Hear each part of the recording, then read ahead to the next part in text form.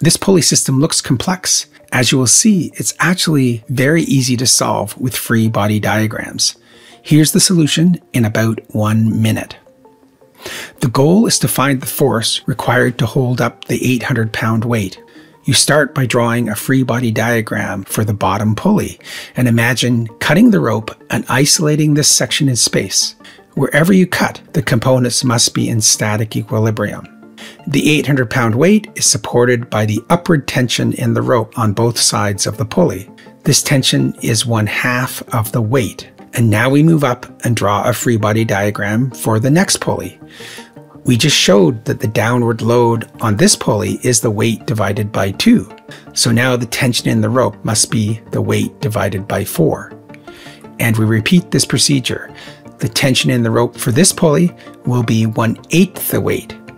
And finally, for the last pulley, we just showed that the tension in the rope is 1 eighth of the weight.